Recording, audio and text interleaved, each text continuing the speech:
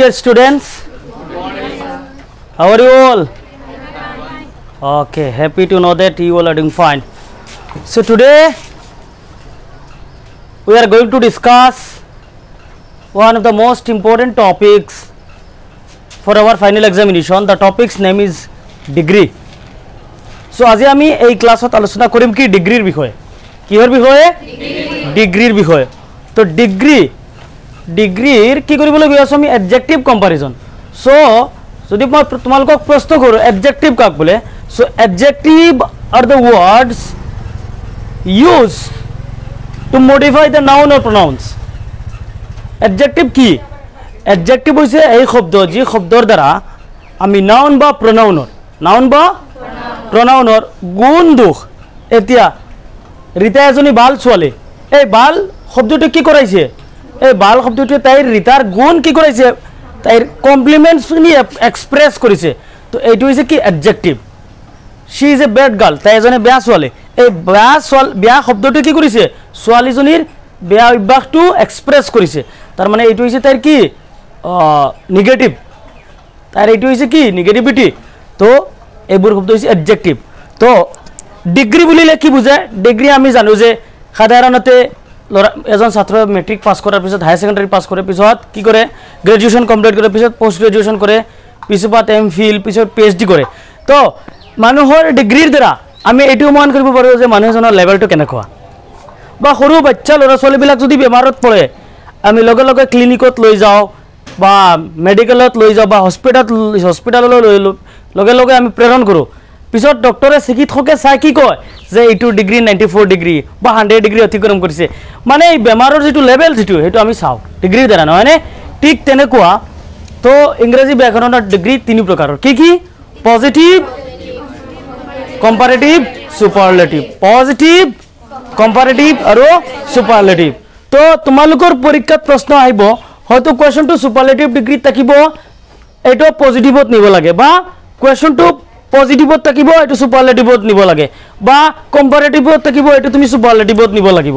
This type of questions will come in your final examination so' আজিৰ এই তিনিটা এই তিনিওটা বস্তু আলোচনা কৰিম এই তিনিটা কুৱেশ্যন আলোচনা কৰিম আৰু লগে লগে one marks will be gone in your pocket directly লগে লগে তোমালোকৰ পকেটত কিমান মাৰ্ক যাবগৈ?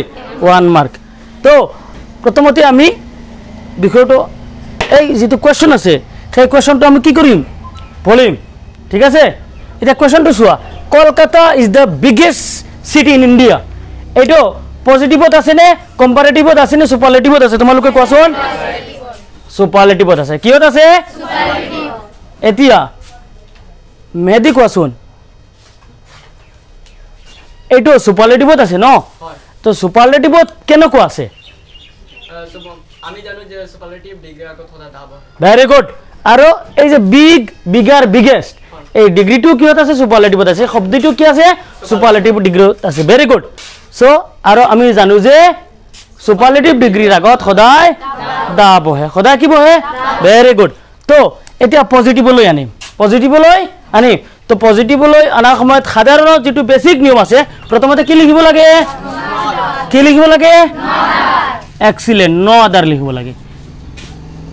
ন আদাৰ ইয়াৰ পিছত এই যে চুপাৰলেটিভ ডিগ্ৰী যিটো শব্দ আছে সেই শব্দৰ পিছত যিখিনি অবজেক্ট থাকিব সেইখিনি লিখিব লাগিব। ইয়াত যদি ইমান দীঘল এটা যদি শব্দ থাকে বা ফ্ৰেজ থাকে সেইটো আমি লিখিব লাগে। তো ন আদাৰ কামিন চিটি ন আদাৰ চিটি ইন ইণ্ডিয়া নহয়নে? ইয়াৰ পিছত কি লিখিব লাগে? অক্সিলাৰী বাৰ যিটো আছে সেইটো লিখিব লাগে। ইয়াত অক্সিলাৰী বাৰ কি আছে? ইজ ইয়াৰ পিছত কি লিখিব লাগে? ভেৰি গুড এজ লিখিব লাগে। এইটো হৈছে কি? চুপাৰলেটিভৰ পৰা পজিটিভ লৈ অনাৰ নিয়ম। ইয়াৰ পিছত কি কি লিখিব লাগে? এই যিটো চুপাৰলেটিভ ডিগ্ৰী আছে তাৰ পজিটিভ ফৰ্মটো লিখিব লাগে নহয়নে? কি? বিগ ইয়াৰ পিছত কি লিখিব লাগে? আকৌ এজ লিখিব লাগে নহয়নে? ইয়াৰ পিছত because the object Kolkata. Very good এইটো হৈ গ'ল আমাৰ কি? পজিটিভ ডিগ্ৰী এতিয়া আমি যদি কম্পাৰেটিভত নিওঁ প্ৰথমতে কি লিখিব লাগে? ছাবজেক্ট যিটো আছে কলকাতা কলকাতা।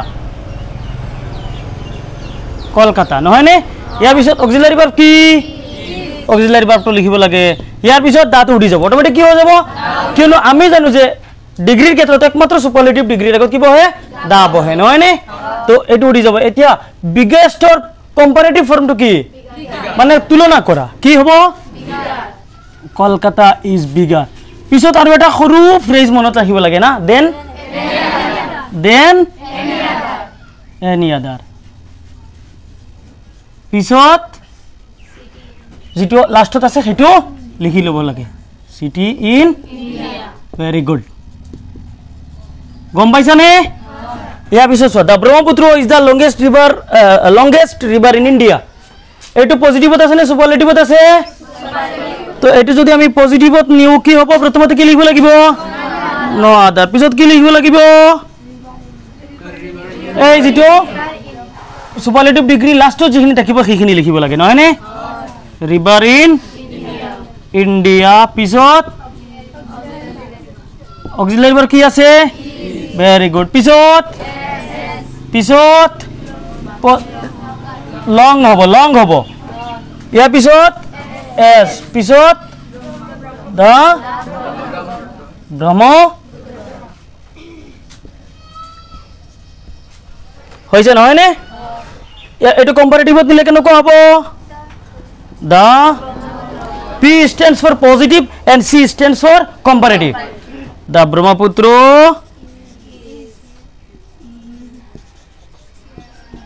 is longer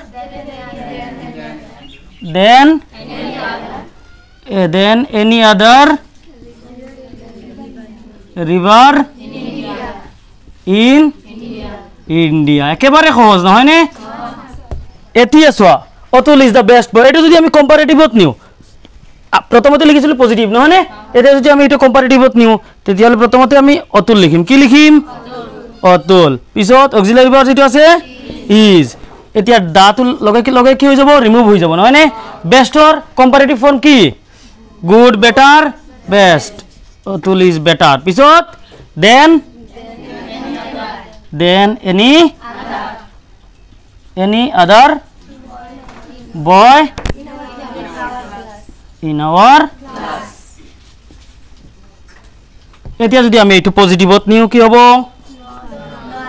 ন আদাৰ প্ৰথমতে লিখিব লাগে নহয়নে পিছত? Boy in our? Boy in our? In our class. পিছত অক্সিলাৰী ভাৰ্ব কি আছে? ইজ আছে। ইয়াৰ পিছত বেষ্টৰ পজিটিভ ফৰ্ম কি? Is as good as Atul. হৈছেনে? অসুবিধা আছে? অ'কে তেতিয়াহ'লে আৰু ইয়াৰ মাৰ্কত পকেটত নহয়নে?